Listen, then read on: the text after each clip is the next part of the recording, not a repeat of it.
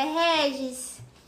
Ah, gente, agora eu vou fazer. É... Você tá indo pra minha hora final? É isso. E, gente, é.